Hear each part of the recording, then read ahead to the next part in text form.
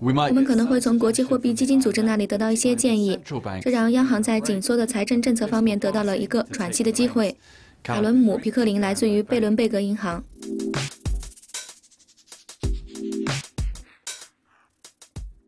国际货币基金组织将会在周二开始连续的召开会议，如很多人预期的那样，召开了最新一期的世界经济展望。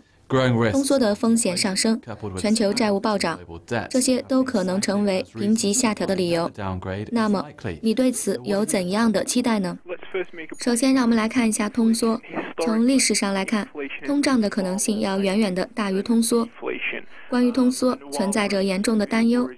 日本证明了央行能够防止通缩，也许他们无法像希望的那样防止通胀的产生，但是他们能够很好的防止通缩。所以这并不是一个重大的风险，并且不会伴随着全球的债务风险一起出现。目前在创造更多的通胀的同时，如何减少债务成为了一个问题。但是在当前的环境中，创造通缩是一个非常困难的工作，特别是对于美联储、欧洲央行、英国央行、日本央行以及多数的发达国家的央行来说。这些央行在过去五年一直到昨天，在提高通胀方面的表现都非常的挣扎。现在有了一个很好的理由，当经济体中存在着很高的债务，货币政策的刺激就会缺乏弹性，通胀也会下降。所以，我认为国际货币基金组织会给出的建议之一是，需要适当的收缩财政政策，去尝试提振名义上的需求和创造通胀。当然了，对于像美国、英国、日本这样的国家来说，他们属于介入本币，有专门的央行去负责发行，小幅收高的赤字和公共部门债务水平将不会让长期利率激增。以及对私人投资部门造成伤害。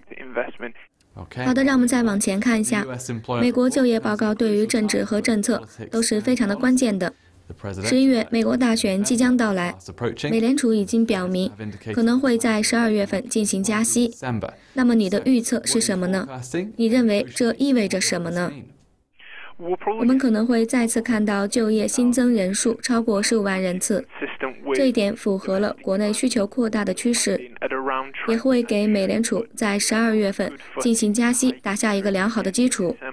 但是对我们来说，美联储就业数据给我们造成的打击是，就业增长速度在过去几个月当中连续超过了 GDP，而这就意味着生产力增长比之前要弱。这可能会损害利润。更低的利润意味着公司对就业的需求将会开始放缓。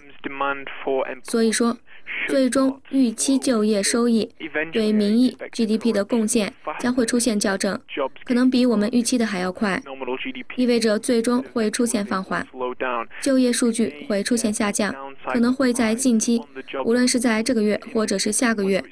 无论是在十一月份还是在十二月份，我不确定什么时候，但最终会来。最后，在本周，你认为还有哪些可能会影响市场的关键因素值得关注呢？市场的注意力主要将会集中在央行身上。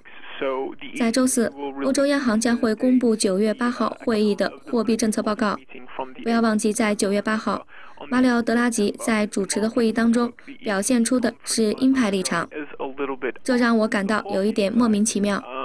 欧洲央行可能会延长货币政策至少六个月，我指的是 QE，每个月的八百亿资产的购买规模。我预计。